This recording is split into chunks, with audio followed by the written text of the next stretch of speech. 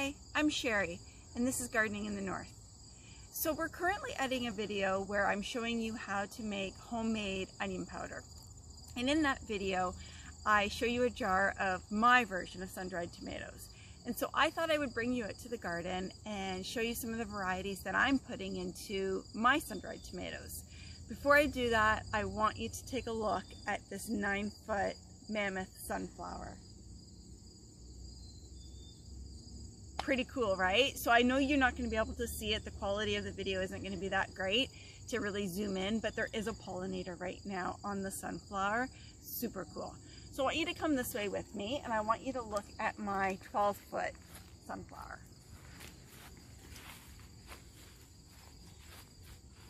How cool is this? 12 feet. So this whole row of tomato plants that I have here, these were tomato plants that I had left over from all my seedlings. I planted too many, too many seeds. I got too many seedlings. I tried to give some away and um, these were the ones that I couldn't give to anybody. And so I'm of the mind that, you know, I put a lot of effort into growing these seedlings and so I didn't want to just kill them. Um, so I found space for them. So we have a, a few varieties here um, that we that we're using in our sun-dried tomatoes. And oh no, Wesley, look at this. There's hornworm damage. So you can see the branches here don't have any leaves. And so usually the hornworms will hide. And, and if you haven't seen a hornworm before, oh no, look at this, Wesley.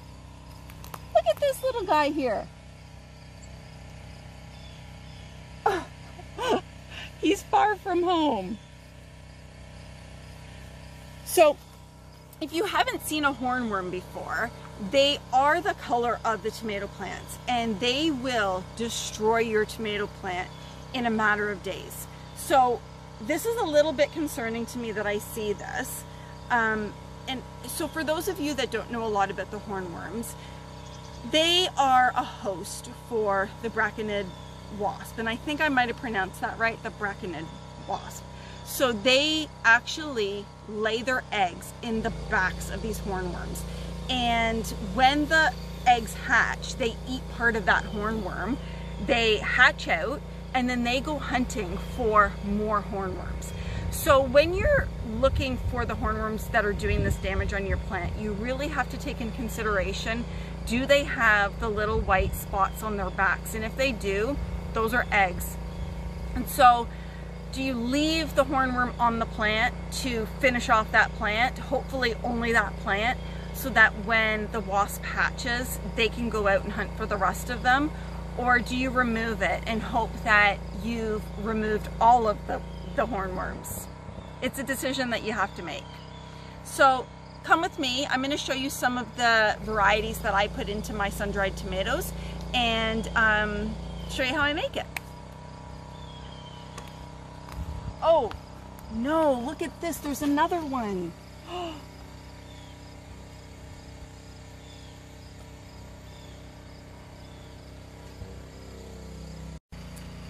So the idea for this video was to really walk you through some of the varieties of tomatoes that I'm using in my sun-dried tomatoes.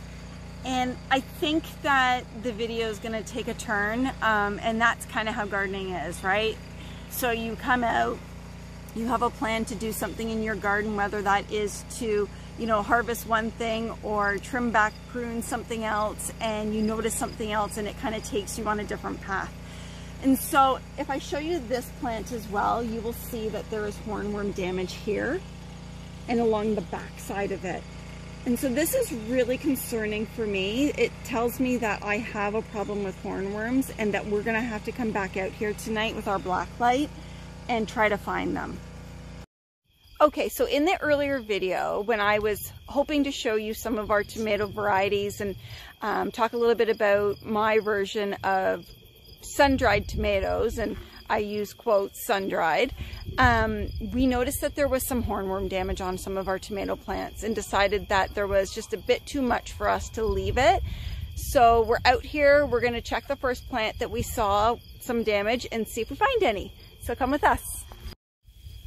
Okay, look at that. It's hiding right in amongst, I don't know if I can focus it any better. It is hiding in and amongst my tomatoes. Oh my lord. Okay, so we're gonna have to pick this one off. I don't see, I see white lines, but that's kind of the design of it. I don't see any of the larva.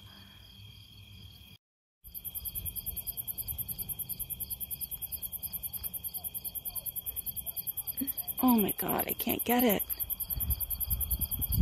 Oh my god, it's so nasty. Oh.